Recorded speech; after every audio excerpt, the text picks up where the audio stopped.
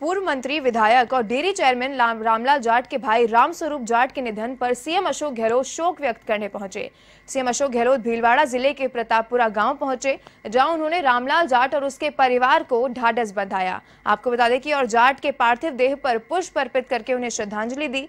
इसके बाद सीएम अशोक गहलोत अंतिम यात्रा में भी शामिल हुए।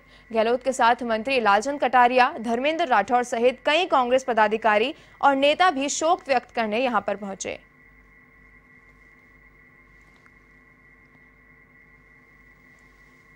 और इसी खबर पर और अधिक जानकारी देने के लिए एवं संवाददाता योगेश शर्मा फोनलाइन पर जुड़ रहे हैं हमारे साथ। जी योगेश बताएँ।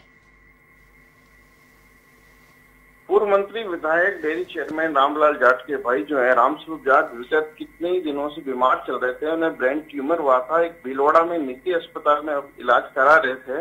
पिछले एक वर्ष से वो बीमार थे और पिछले दस दिन से तो उनका स्वास्थ्य बहुत खराब था और डॉक्टरों ने भी जवाब दे दिया था। तो कल रात को उन्होंने अंतिम सांस ली। लवीना जी मुख्यमंत्री अशोक गहलोत के साथ कौन कौन इस शोक यात्रा में शामिल रहा? मुख्यमंत्री अशोक गहलोत प्रतापपुरा गाँव गए थे उनके परिवार को शोक संतप्त परिवार को ढांढस बनाया बनाया और उन्होंने पार्थिव देते पुष्प भी अर्पित किया लालचंद कटारिया धर्मेंद्र गहलोत और कितने ही कांग्रेस के जो नेता हैं वहाँ उनके साथ मौजूद रहे रवीना।